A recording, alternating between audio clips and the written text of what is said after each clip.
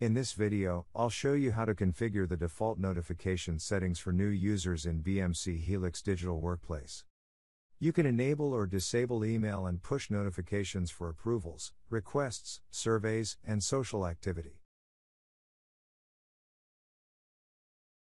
For the purpose of this video, let's assume that Company A has decided to use email notifications for all event types and, therefore, wants new users to have only email notifications turned on. Log into BMC Helix Digital Workplace as an administrator. Go to Configuration.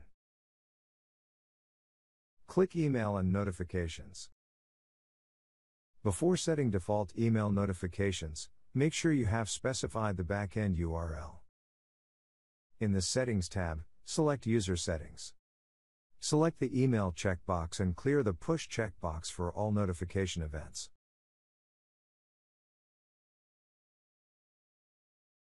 You can select notification types.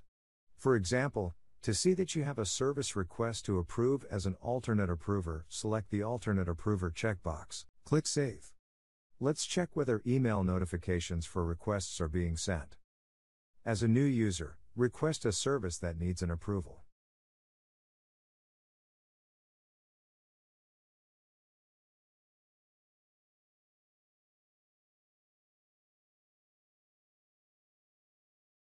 Open your email inbox and see the message that your service request is waiting for an approval.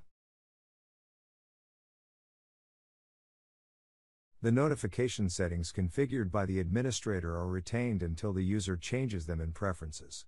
After that time, the administrator cannot alter the notification settings of the user. Thank you for watching this video about setting default notifications in BMC Helix Digital Workplace.